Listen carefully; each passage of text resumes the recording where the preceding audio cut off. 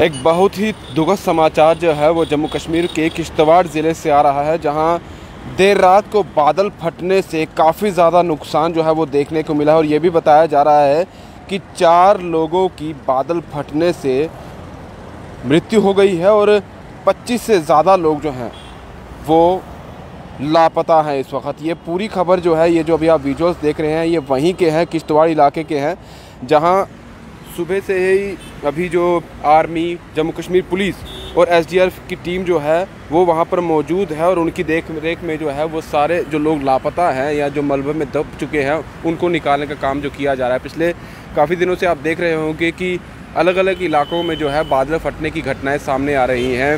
अगर हिमाचल की भी बात की जाए तो हिमाचल में भी दो बार जो है वो बादल फट चुका है, जिसका नुकसान आप लोगों ने देखा होगा कितना नुकसान हुआ है। अभी हालिया भी एक वीडियो सामने आई थी, जिसमें पुल भी डह चुका था और नौ लोग की मृत्यु हो गई थी, जिसमें एक डॉक्टर भी थी और काफ़ी बड़ा हादसा था ये सामने आया था। और अभी जम्मू कश्मीर की बात की जाए तो किश्तवाड़ में भी सामने देखा जा रहा है कि देर रात को दो जगह पर बादल फटा है। और ये देखा जा रहा है कि जो ये गाँव है दूर दराज है जो मेन हाईवे है उससे काफ़ी दूर है। मैं फिर से आपको बता दूँ जो ये देखिए और ये भी बताया जा रहा है कि छोटे छोटे पुल थे दरियाओं पर चार के करीब वो भी टूट चुके हैं।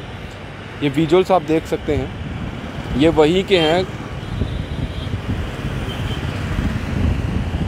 अभी फ़िलहाल वहाँ पर आ, एसडीआरएफ की टीम की बात की जाए, वो लगी हुई है। जम्मू कश्मीर पुलिस जो है, वो अपना काम कर रही है और साथ ही बात की जाए आर्मी की तो उनका भी सहारा लिया जाए और साथ में ही रेस्क्यू टीम के साथ साथ हेलीकॉप्टर के सहारे से भी लोगों को ढूँढने का और उन्हें निकालने का वहाँ से काम जो है, वो किया जा रहा है। अगर जम्मू कश्मीर पुलिस की बात की जाए तो वहाँ पर वो भी मौजूद है। उनके द्वारा भी पूरा रेस्क्यू जो है, वो वहाँ पर किया जा रहा है। अभी तक जो खबर आ रही है, उसमें यह बताया जा रहा है कि चार लोगों की जो मृत्यु है, इस बादल फटने से, जो वहाँ पर सैलाब आया है पानी का, उसमें वो ये देखिए, ये जम्मू कश्मीर पुलिस के वहाँ पर पुलिस के द्वारा ये उनको रात को ही इतला किया जा रहा है कि बारिश जो है वो ये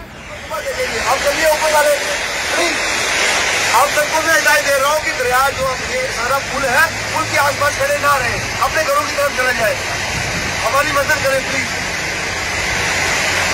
बार बार बोल रहा हूँ कि दरिया के पास खड़े मत रहे। प्लीज़ अपने अपने घरों की तरफ़ चले जाओ या सेफर एरिया वहाँ पर चले जाओ। ये जब बारिश वहाँ पर स्टार्ट हुई थी और जो पानी का सैलाब था, वो अपने चरम पर पहुँच रहा था तो तब पुलिस की टीम वहाँ पर पहुँची और उनके द्वारा अनाउंस किया जा रहा था कि क्योंकि जब भी सैलाब आता है और बारिश होने लगती है तो लोगों का हजूम काफ़ी ज़्यादा जो है देखने को मिलता है। जब तवी नदी में भी बाढ़ आती है, काफ़ी ज़्यादा लोग वहाँ पर इकट्ठे हो जाते हैं। चनाब दरिया में जब पानी काफ़ी ज़्यादा हो जाता है, तब भी वहाँ पर लोग इकट्ठे हो जाते हैं और इनके द्वारा इनकी टीम के द्वारा, जम्मू कश्मीर की टीम के द्वारा यही कहा जा रहा था अनाउंस किया जा रहा था कि अभी बारिश हो रही है, काफ़ी तेज़ है, हमारी टीम जो है वो वहाँ पर मौजूद है, लेकिन जो आम जनता है वहाँ से दूर चली जाइए, कुछ भी घटना जो है वो हो सकती है, और यही हुआ बादल फटना और ये भी बताया जा रहा है कि जो ये इलाका है, क्योंकि दूर दार के, दूर दराज का इलाका है, वहाँ पर गाड़ियाँ जो है वो डायरेक्टली नहीं पहुँचती, अभी रोड वहाँ पर नहीं बना, पहाड़ी इलाका है किश्तवाड़ का तो जिस तरह से बादल फटा, जो सैलाब आया, उसकी वजह से आठ मकान जो है एक ही जगह के वो ढह गए, जिसमें तीस से ज़्यादा लोग जो है वो बताए जा रहे थे उस मकान में मौजूद थे, जो फैमिली वहाँ पर मौजूद थी, जिनमें सब के सब जो है उसी सैलाब में बह गए बादल फटने की वजह से। और चार लोगों को अभी जो है निकाला गया है, जिनकी मृत्यु हो गई है, जो सामने दिख चुके हैं। लेकिन बाकी जो लोग हैं, उन्हें अभी भी ढूँढने का काम किया जा रहा है। काफ़ी प्रॉब्लम जो है वहाँ पर टीम को हो रही है, क्योंकि बारिश अभी भी वहाँ पर लगातार जारी है। और जब भी बादल फटता है तो काफ़ी ज़्यादा गारा जो है, वो सामने आ जाता है, जिसके साथ और मुश्किलें सामने आ जाती है। मलबा काफ़ी ज़्यादा इकट्ठा हो जाता है और आठ मकान जो है, वो बिल्कुल क्षतिग्रस्त हो चुके हैं।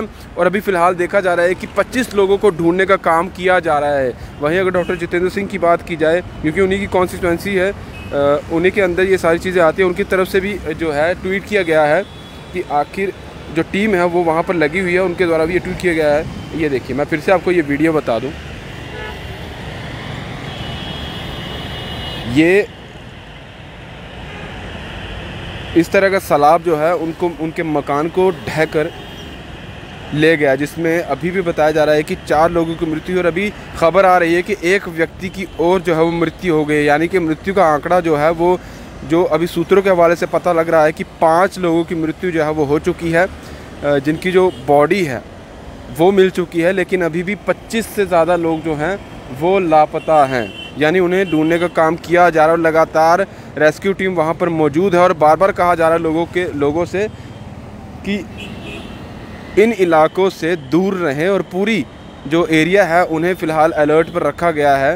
ये देखिए, मैं फिर से आपको बता दूँ कि क्या पानी का लेवल बढ़ रहा है।